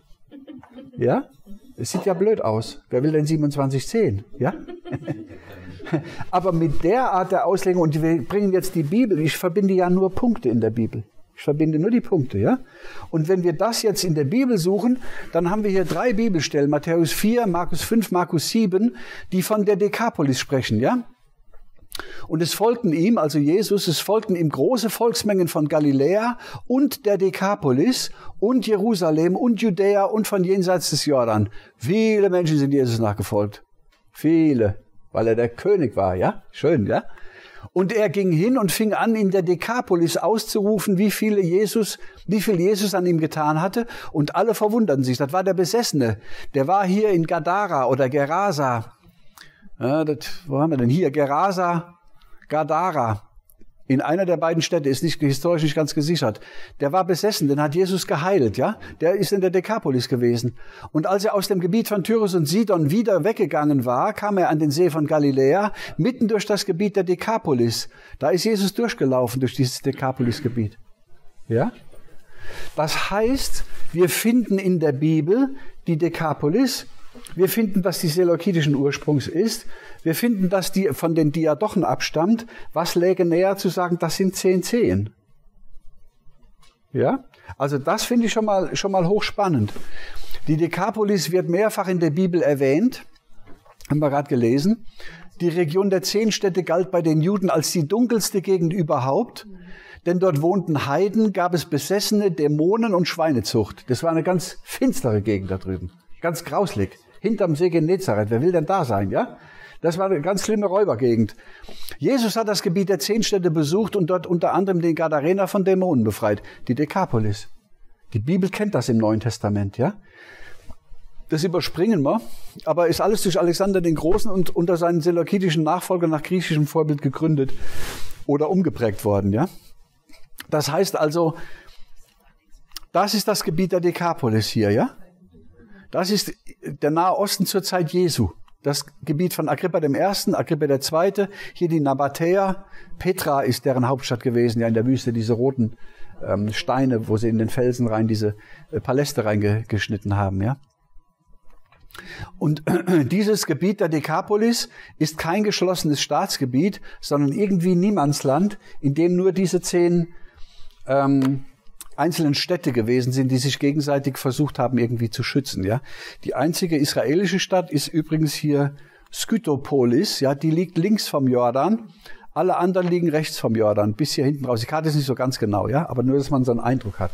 Aber Damaskus liegt ja weit außerhalb der Dekapolis. hier. Super, ja. Damaskus liegt weit außerhalb und erstaunlicherweise ähm, haben die Historiker festgestellt, dass Damaskus zeitweise zu der Dekapolis dazugehört hat. Und dann haben die Historiker gesagt, das ist ganz ungewöhnlich, weil Damaskus ist drei Tagereisen entfernt. Wieso sollte denn Damaskus zur Dekapolis gehören? Aber dann wäre das ja fast so, als ob ein kleines Horn zwischen zehn anderen Hörnern auftaucht. Das ist doch Daniel-Prophetie. Dann war das historisch schon mal so? Ja. Dann wäre Damaskus ein kleines Horn und diese zehn Dekapolis-Städte wären die zehn Hörner und zwischen den zehn Hörnern taucht ein kleines Horn auf und bricht drei Hörner aus? Ja, offensichtlich. Das ist spannend.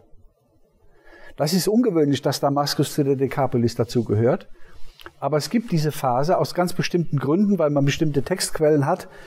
Gibt es einen, einen, einen, griechischen Philosophen, der beschreibt dann auch die, die einzelnen Städte und mal äh, sagt er dann, dass Bechian die größte der Dekapolis-Städte war. Daraus, ähm, das ist Skytopolis, ja. Daraus schließt man, dass zu der Zeit Damaskus noch nicht Teil der Dekapolis war, weil Damaskus größer war als Skytopolis. Und dann gibt's wieder andere Listen, wo dann der gleiche Autor Damaskus dann auch dazu zählt, so dass man sagt, da hat man also plötzlich dann elf Städte. Und das ist hochspannend. Das geht bis in den zweiten Thessalonischer Brief rein. Da haben wir jetzt aber nicht die Zeit für. es geht ja nur darum, ein bisschen Historie und ein bisschen Standbild zu machen. Was ich damit sagen will, ist, dass das nicht Europa ist, sondern auf das, aus den Diadochen heraus diese Dekapolis noch zur Zeit Jesu gewesen ist. Und weil das hier endzeitlich ist, kommt das wieder in der Endzeit. Das wird wieder kommen. Und da ist jetzt die Frage, was machen die denn mit den Palästinensern, wenn die dann verlagert werden? Die werden die verlagern, bin ich fest davon überzeugt, ja? Wie das kommt, weiß ich nicht genau, aber eins weiß ich, dass wieder eine endzeitliche Dekapolis kommt. Das wird so werden wie damals. Ja? Und das hängt mit diesen Zehen zusammen. Aber ich will jetzt nicht zu weit da, da spekulieren, aber wir, sagen einfach mal, das sind die ja doch und das Dekapolis. Und dann hätte man ja alles untereinander, dann steht ja unser Standbild. Da fällt da nichts mehr um. Und es passt jetzt geografisch, statisch, historisch, biblisch, prophetisch. Was will man denn noch mehr, ja?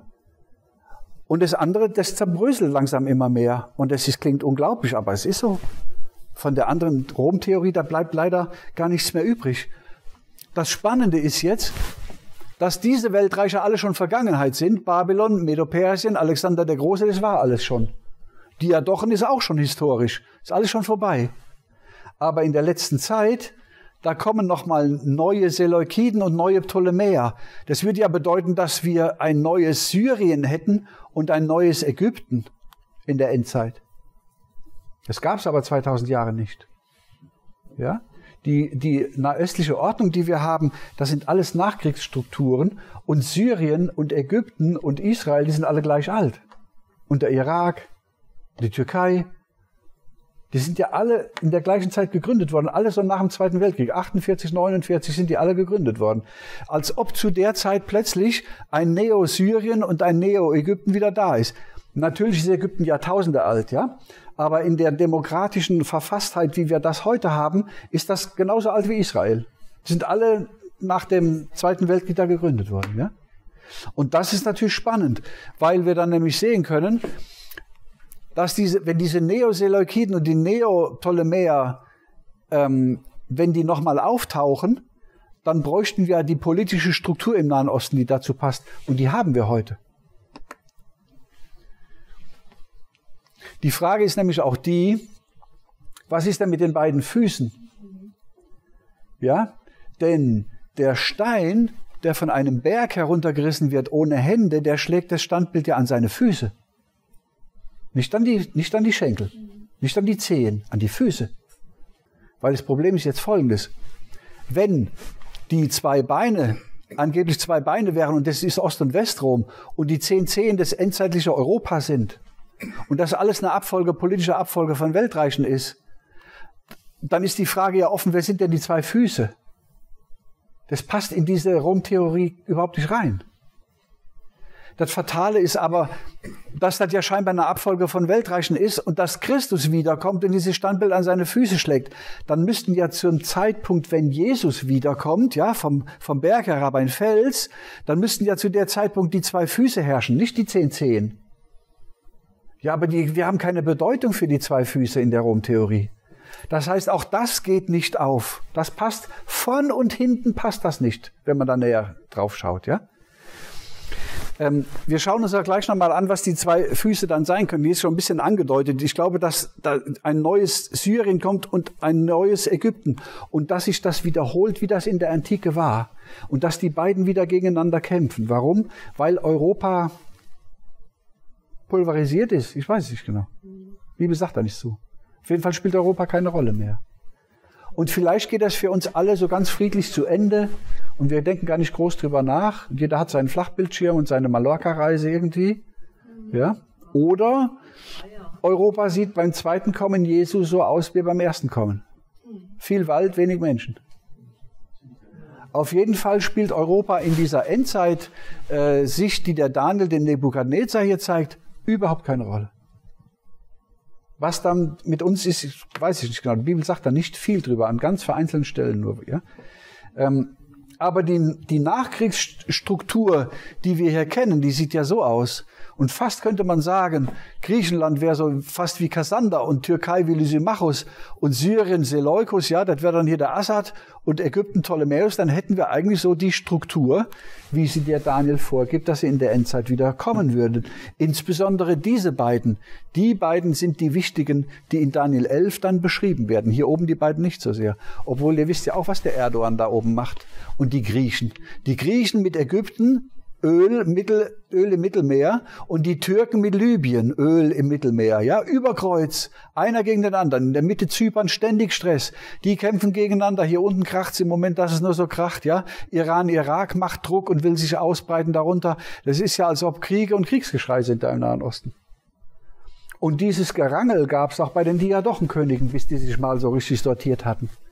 Ja, ich will das nicht über, übertreiben, nicht überzeichnen, aber das erinnert mich schon sehr daran, an das, was historisch mal da gewesen ist. Ja? Ja?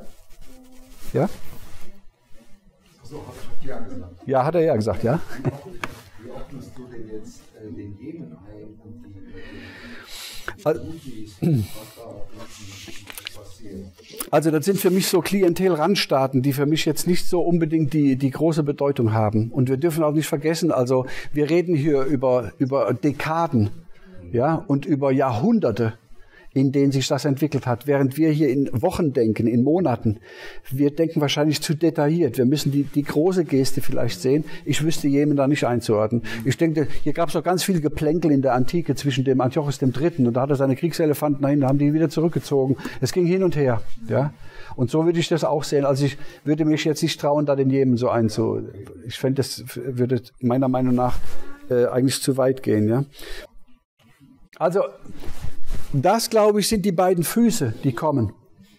Ja? Das sind keine Schenkel mehr. Die sind kleiner, die sind schwächer. Die sind nicht so mächtig, wie sie früher waren in der Antike, aber sie sind wieder da. Ja? Und diese Füße sind Eisen, da ist noch etwas Eisen drin von damals. Die Brutalität, die, die Martialität, die Aggressivität, die ist da in den Staaten noch drin. Aber es ist nicht Asterix und Obelix mit Eisenrüstungen Rom, ja? Das ist es nicht sondern es sind die Diadochen, die dort gezeigt werden. Und die kommen in der Endzeit wieder, nicht als mächtige Schenkel, sondern als zwei Füße. Aber sie sind da. Und jetzt ist die Frage, was ist denn mit dem Vermischten? Die sind ja mit Ton vermischt. Und da habe ich immer gehört, ja, das Römische Reich, das ist ein bisschen stark und ein bisschen schwach. Ja, militärisch stark, sozial ist schwach, ethisch ist schwach, moralisch ist schwach. Aber wenn ihr nochmal zurückgeht zu dem Standbild und man das nochmal so ein bisschen vor sich, vor seinen Augen auch, auch hat, ja, das ist, finde ich, auch einen schönen Vers, zur Zeit dieser Könige, zur Zeit der beiden, der beiden, ja, der beiden Füße, zur Zeit dieser Könige wird der Gotteshimmel sein Reich aufrichten, das nimmer mehr zerstört wird. Das heißt mich, wenn diese Reiche kommen, dann kommt Jesus bald. Wann auch immer und wie auch immer, ja. In biblischen Zeiträumen, nicht eBay, 321 Mainz, ja, heute gekauft, morgen geliefert. Das glauben ja viele. Jesus sagt, fasst eure Seelen in Geduld. Wir brauchen da langen Atem. Aber die Dinge kommen. Das kommt, ja. Und das Chaos, was wir jetzt sehen, so, da sagt Jesus, wenn ihr das seht, dann erhebt eure Häupter. Kopf hoch. Eure Erlösung naht sich. Da tut sich was, ja. Jesus kommt wieder und wird sein Reich aufrichten. Und wir werden bei ihm sein. Alle Zeit, ja. Das ist die Perspektive, die Christen haben. Da dürfen wir mutig drin sein in so Situationen, ja. Es wird alle diese Königreiche zermalmen und zerstören, aber selbst das Reich Christi wird ewig bleiben. Ja? Ähm, Jesus Christus kommt. Jetzt haben wir aber hier diese zehn, dass die vermischt sind mit Ton. Und jetzt überlegen wir noch einmal, wir haben ja vier Metalle hier, oder? Wir haben Gold, wir haben Silber, wir haben Bronze und wir haben Eisen. Aber wir haben noch mehr Materialien. Welche Materialien haben wir denn noch? Bitte? Ton. Haben wir noch mehr Tonsteine, Erden? Haben wir noch was? Scherben, ja.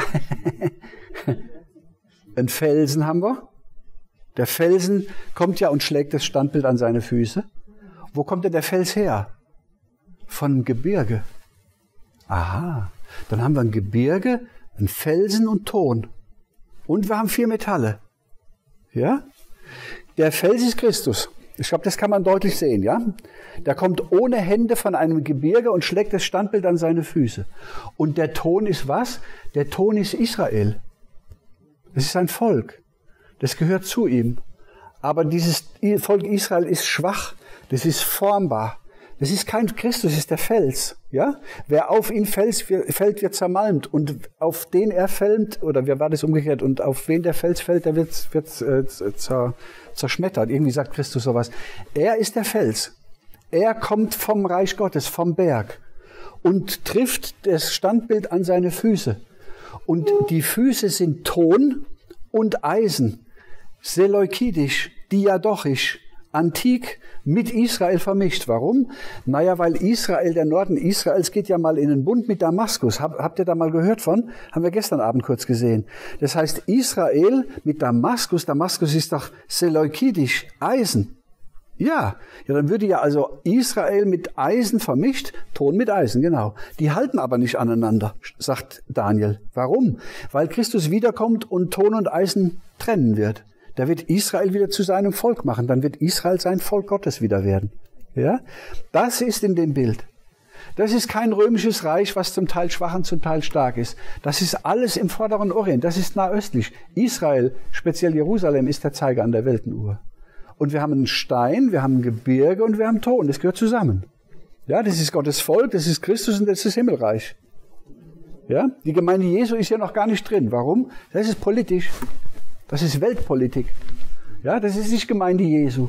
Da wird Jesus nicht gezeigt als hoher Priester, der uns die Sünden vergibt. Da wird Christus gezeigt als Zwingherr, als Herr der Welt. Das wird, so wird uns Christus gezeigt, ja. Der zu einem Alten kommt an, an Tagen, steht in Daniel. Das ist das, was wir in Daniel, Daniel haben. Also jetzt hätte man so in, im Hubschrauberflug dieses Standbild mal so durchgeschaut. Und dieses Standbild steht, und zwar Kopf, Brust, Bauch, Oberschenkel, Unterschenkel, Füße und Zehen und alles im vorderen Orient. Ja? Könnte es sein, dass diese antichristliche Bewegung auch speziell im vorderen Orient abläuft? Ja, könnte es sein, dass das Mahlzeichen des Tiers auch speziell im vorderen Orient ein Phänomen ist? Könnte es sein, dass das alles nicht ganz so global gedacht werden muss, wie wir das oft denken? Ist nur eine Frage, die ich da an die, an die Dinge habe, ja? Ähm, ich will damit nur sagen, ich könnte mir vorstellen, dass das alles sehr viel mehr auf den Nahen Osten konzentriert ist. Natürlich haben wir weltweit einen antichristlichen Geist, der ausgegossen ist. Natürlich. Ja? Und unsere Regierenden sind auch alle davon erfasst, weil sie mit der Hure Babylon halt Schmuddelkram getrieben haben, ja? Und trotzdem kommt doch der Antichrist als ein Mensch und der kommt im Nahen Osten der setzt sich ja da unten auch in einen Tempel, ja? Kann es sein, dass das da unten stattfindet, dass die Weltbevölkerung das überhaupt nicht wahrnimmt und überhaupt nicht ernst nimmt? Dass die Christen, die ihre Bibel kennen, aber sehen, ah, jetzt sind Ereignisse eingetreten, auf die wir warten sollten. Das könnte ich mir vorstellen. Ja? Ist nur mal so ein Gedanke. Jetzt lässt diese Weltsicht der damaligen Zeit natürlich äh, die Großmächte, die aktuellen Großmächte außer Acht, weil die außerhalb dieser Region liegen. Absolut, ja. Und äh, das, Ja. kann ich mir nicht, das kann ich mir noch schwer vorstellen. Ja, das stimmt. Das kann ich mir auch schwer vorstellen. Und dann sage ich mir immer, ich soll ja auch nicht auf das achten, was vor Augen ist. Und wir sehen ja, dass die Welt sich extrem schnell ändern kann. Auch politisch. wir leben in einer Zeit, wo die alte Weltordnung auf den Kopf gestellt wird. Es ist, als ob ein Eisberg sich dreht. Der dreht sich langsam, aber der dreht sich. Und wir sind da mittendrin und wir empfinden das individuell vielleicht auch anders, aber da, die ganze Welt dreht sich gerade. Und ich habe vor vielen Jahren auch schon gesagt, ähm, dass Amerika äh, Israel unter Umständen mal alleine lassen könnte oder Amerika schwach ist, weil Amerika kommt ja gar nicht vor. Und da haben ganz viele im Internet haben gelacht. Ah, da kann ich mir überhaupt nicht vorstellen. Das kann überhaupt nicht sein. Amerika wird Israel nie alleine lassen. Und jetzt? Die sind so pleite, die Amerikaner. Die sind so ausgezehrt worden, von wem auch da immer, ja? Von einer Gruppe, die vielleicht sich längst nach China verdrückt hat und die ganze westliche Welt gegeneinander hetzt. In den dritten Durchgang. Ja? Wer, wer, wer weiß das? Aber das kann ich mir vorstellen. Die warten in China ab. Die Chinesen haben, jetzt sind wir aber ganz vom Standbild weg, ja. Aber die Frage ist natürlich absolut berechtigt. Warum kommt da Amerika nicht vor? Warum kommt da Europa nicht vor? Das ist alles ausgeblendet, ja. China, ja. Die ganze Welt ist da ausgeblendet. Und ich meine, es ist ja auch spannend. Der Daniel, der sagt ja auch zu dem Nebukadnezar, du Nebukadnezar, du bist das goldene Haupt. Du bist ein König aller Könige. Überall, wo Menschen wohnen und wo Tiere sind, da bist du König und ähm, du bist der, du bist der Allergrößte und du bist das goldene Haupt, ja. Hat Nebukadnezar die ganze Welt beherrscht? Nö. Der hat nur den vorderen Orient beherrscht, ja? Moment, wo ist das denn hier? Ah ja, genau hier, ja?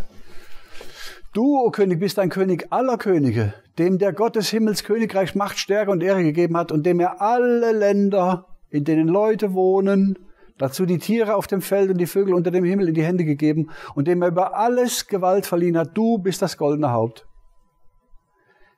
In der Zeit gab es in China ein chinesisches Kaiserreich, gegen das Babylon ein Mückenschiss war. Ich übertreibe etwas. Das war Hightech ja, hoch, ähm, hoch durchorganisiert, eine Kampfmaschine, ja, mit Techniken, die hier noch überhaupt nicht bekannt gewesen sind. Trotzdem beschreibt die Bibel das hier in einem, ich sag mal, auf den vorderen Orient, auf den fruchtbaren Halbmond konzentrierten Blick. Ja? Aber es ist überhaupt nicht so gewesen, als ob der Nebukadnezar jetzt über die ganze Erde, über Südamerika geherrscht hätte und über Asien und über Nordamerika. Überhaupt gar nicht. Ja? Der hat den fruchtbaren Halbmond beherrscht und da war er ein großer Herrscher. Und wahrscheinlich hat man in der Gegend auch noch nie erlebt, dass ein Weltreich so groß gewesen ist. Für uns in der Rückschau sagen wir, ja gut, das war nur Babylon. Nee, nee, nee. Das war big damals. Ja? So eine große Ausdehnung hatten Weltreiche noch nie. Und die wurden immer größer. Persien war noch größer. Alexander war noch größer. Ja? Also das ist schon groß. Heute sind die Weltreiche noch viel größer. Die haben sich sogar von der Landmasse abgekoppelt und existieren virtuell in Geldern, die in den Computern nur noch hin und her gedreht werden. Das ist ja vollkommen abgedreht, wo wir leben, ja? Aber das hier war eine andere Perspektive, die die Bibel da einnimmt. Und könnte es sein, dass der Antichrist auch über alle Lande herrscht, in einer Perspektive, die der Daniel einnimmt? Ja? Das schließt nicht aus, dass der antichristliche Geist weltweit ist. Aber es würde zumindest mal die, die, den Antichristen auf eine bestimmte Region reduzieren. Daniel sagt ja auch, wo der Antichrist herrscht. In Syrien, in Israel, in Ägypten, in Libyen und im Sudan. Ja? Der Daniel zählt die Weltreiche auf. Das heißt, der Antichrist herrscht eigentlich von Syrien praktisch bis nach Nordafrika. Das ist sein Gebiet. Und im, am Ende kommt es zu einem großen Showdown in Hamageddon, wenn die Könige vom Euphrat kommen, Iran. Ah ja, dann scheint ja aber der Iran nicht unter der Herrschaft des Antichristen zu sein. Nö, dann ist der Antichrist in dem Sinn auch kein Weltbeherrscher, der bis nach Grönland herrscht und Antarktis. Nö, der ist dort unten. Ich glaube, dass das die Perspektive ist, die die Bibel hat und wo wir uns darauf einlassen müssten.